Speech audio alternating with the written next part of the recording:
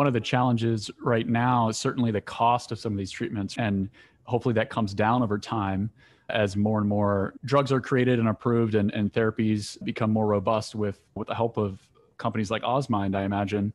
Mm-hmm. One of the things I really like about what you're doing is not everyone necessarily has access to the treatment from a cost perspective or even a location perspective. There's not a ketamine clinic in every town in the country, but you've created this online community for people with treatment resistant mental health issues. Can you talk a little bit about that? Yeah, we're really happy to have our online community. It's just it's at members.osmind.org and it's open to for anyone to use, not just ketamine patients, although it is primarily composed of folks who are interested in ketamine and alternative mental health treatments.